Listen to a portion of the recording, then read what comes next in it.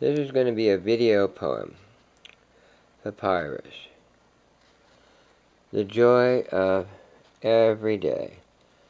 Legends say that hummingbirds float free of time, carrying our hopes for love, joy, and celebration.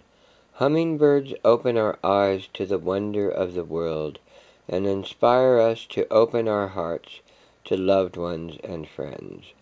Like a hummingbird, we aspire to hover and savor each moment as it passes. Embrace all that life has to offer and to celebrate the joy of every day. The hummingbird's delicate grace reminds us that life is rich. Beauty is everywhere. Every personal connection has meaning and that laughter is life's sweetest creation. For over 50 years, papyrus products have set the standard for style and quality. Thank you for sharing your life celebrations with Papyrus. Signed, Dominique Schurman.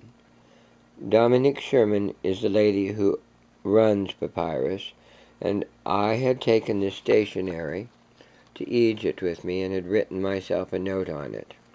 And when I got back, I gave it to her and said, I actually went to a papyrus factory and had um, uh, some papyrus written on and my name printed on it, and it was for Pisces because I'd gone on my birthday last year.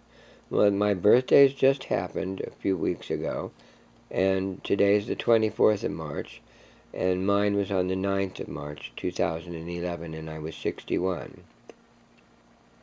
So the other day I opened up my box, pulled this out, and I'd realized she had written me a little note because I had written her a thank you note letting me take my papyrus stationery to Egypt with me, and this was what I found. I put a picture of it and wrote it out on Facebook, but since I've not linked the two of them together, I'm going to let you people of YouTube have this.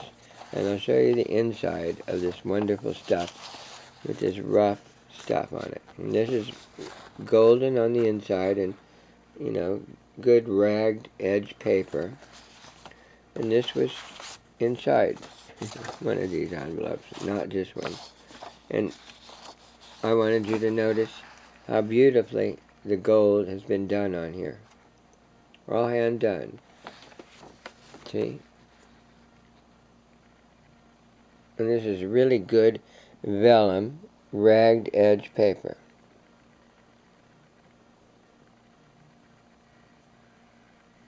See?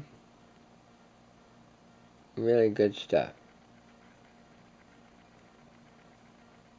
So, this is your little human and friend, Michael Kerasotes, signing off.